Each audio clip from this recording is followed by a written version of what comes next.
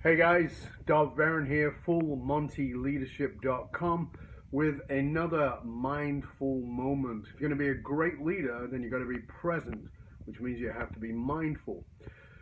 The other day I gave you one which was to focus on your breath. Today, what I want to share with you is the three questions that I learned from one of my great teachers, Parthasarathy Jay, of the, De- the Dean of the Vedanta University in Bombay.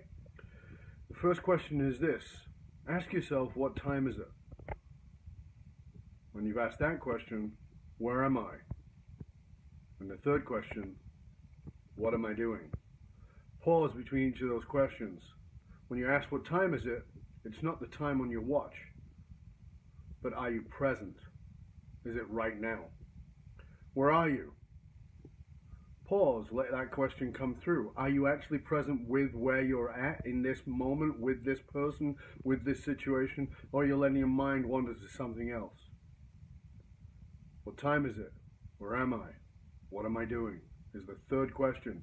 Pause and ask yourself that question. Am I actually being present with what I'm doing?